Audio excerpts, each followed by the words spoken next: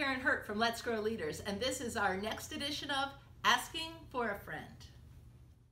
Whenever we're speaking at conferences or conducting one of our leadership development programs, we find that leaders at all levels struggle with asking the really tough questions. It's so much easier when they're asking for a friend. This time we have a caller, Stephen from Davidson College. Hi, Karin.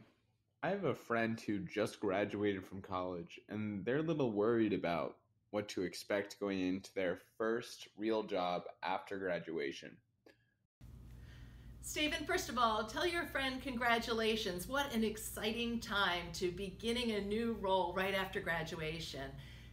Now, I have a couple of pieces of advice first. Absolutely show up with confidence and humility. The confidence to know that you are bringing very real strengths to this role and to be able to figure out how you can best use them from the very first day. And the humility to know that you do not know it all and to be willing to surround yourself with people who will challenge you and tell you the truth.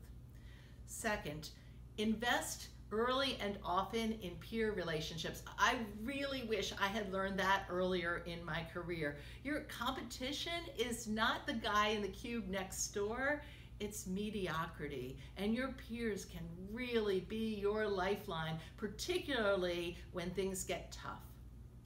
Third, know as much as you possibly can about the business. Take a field trip to another department and understand what stresses them out and what their most important things are. Learn strategically about how your organization is positioned in the marketplace and why.